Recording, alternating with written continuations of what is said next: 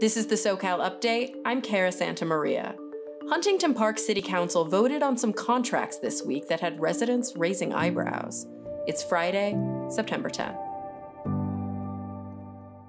Last month, KCET reported on potential conflicts of interest in the city of Huntington Park, where businesses that had donated to council members received hefty contracts.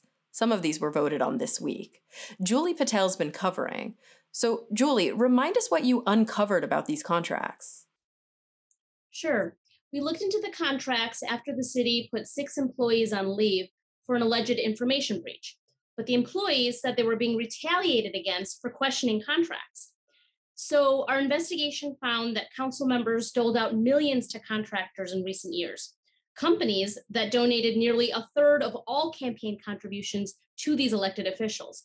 There were also thousands of dollars in gifts. Since expenses for contractors ultimately come from taxpayers, residents want to know that their dollars are being used wisely. What happened at the council meeting this week where some of these contracts were up for a vote? Express Transportation Services, or ETS, gave city council members over $5,000 directly and received $5 million in payments from the city.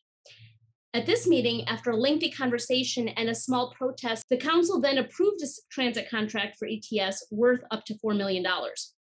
City officials said that the only competitor looked better on paper in terms of its prices, but they cited concerns that additional fees from the competitor could make its prices higher in the end.